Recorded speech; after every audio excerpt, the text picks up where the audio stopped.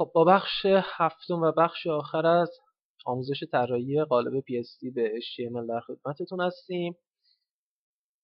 من تنها کاری که اومدم کردم اینه که اومدم از اون content خودم فعلا یه چند تا کپی گرفتم div مربوط به content م که یه مقداری اون وبسایت من پرتر بشه و قالب یه مقداری شلوغتر به نظر بیاد. فقط اومدم اون div content محتوایی که داشتم یه سه تا کپی گرفتم که به این صورت در اومد. البته دوتا حالا می‌تونیم یکی دیگه هم بگیریم. خب. الان این بخش کانتنت من اگه خواستید مثلا محتوا اضافه کنید که مقداری وبسایتتون پرتر باشه میاید از این قسمت تا این قسمت.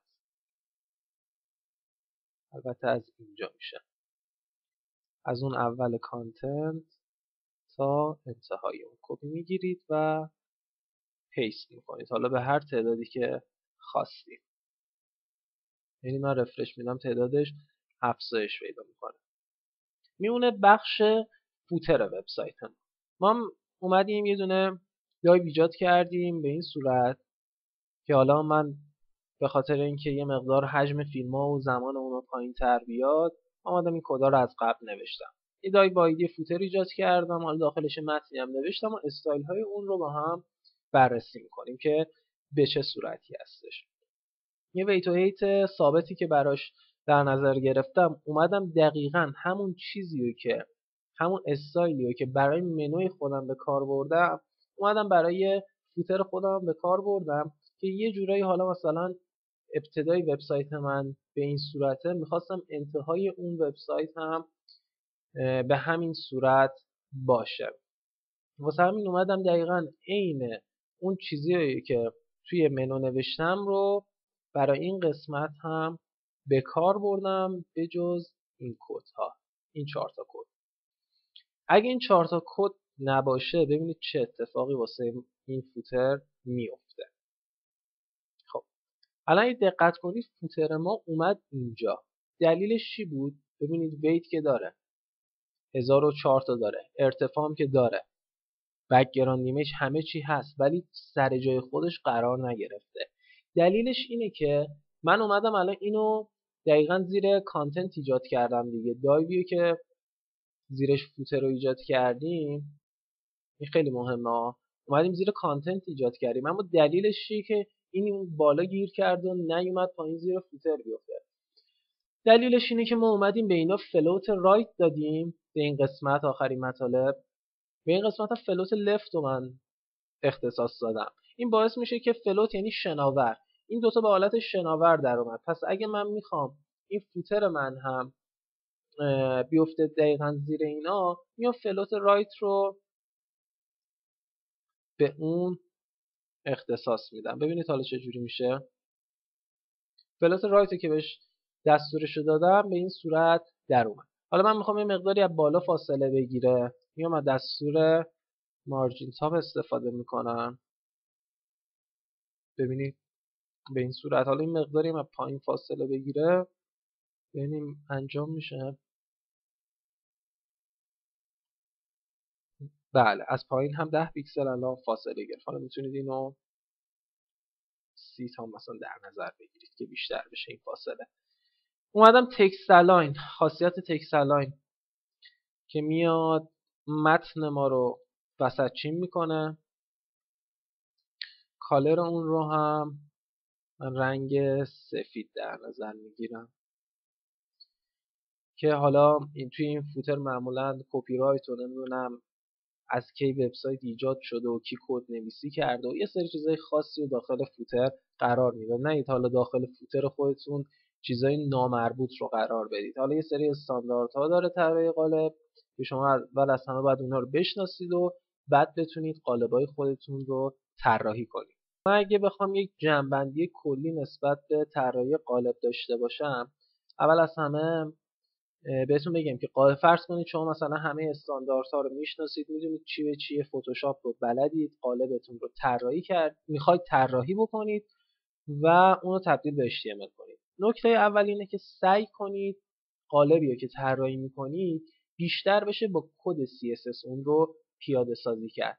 دقیقا مثل این تیکه. ببینید من اینجا نیومدم مثلا عکس استفاده بکنم که حجم قالبم بره بالا. من اومدم از رنگ آبی استفاده کردم. یا مثلا توی این قسمت ببینید اینجا از رنگ استفاده کردم. این اطرافش رو بردر استفاده کردم دستور بردر دکمه ادامه مطلب و یه چیز ساده و کم حجمی قرار دادم دیگه نیومدم مثلا background ش عکس.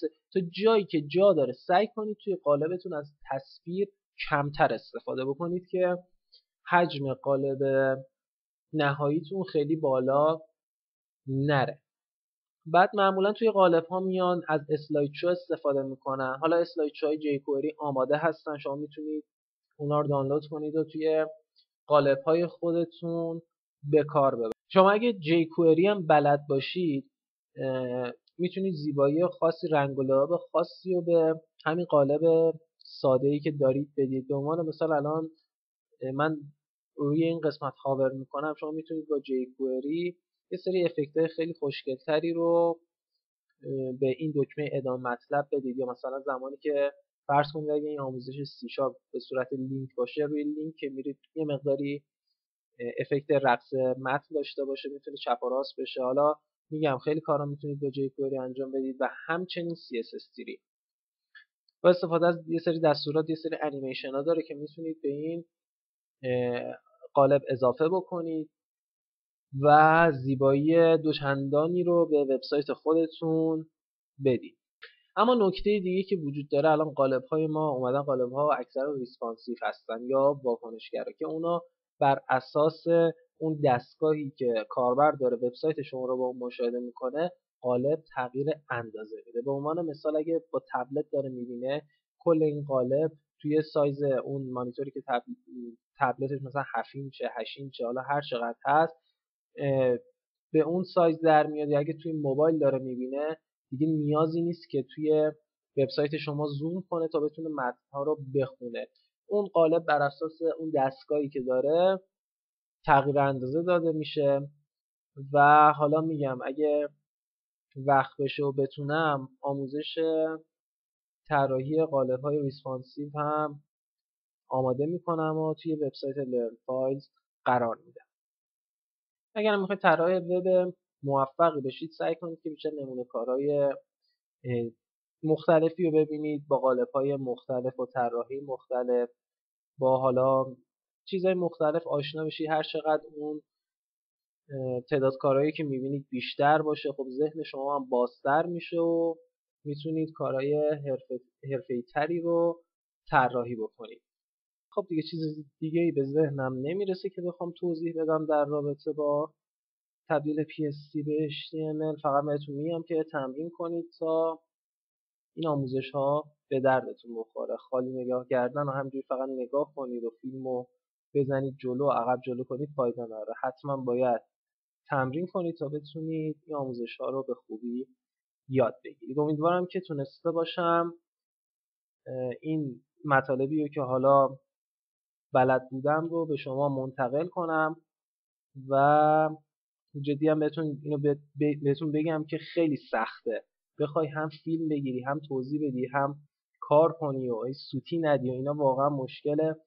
من تا جایی که جا داشت سعی کردم که کاملا خودمونی اون مفاهیم و مطالب رو بهتون توضیح بدم و امیدوارم تونسته باشم که مطالب رو به خوبی به شما انتقال بدم. پس آموزش بعدی خدا نگهدار.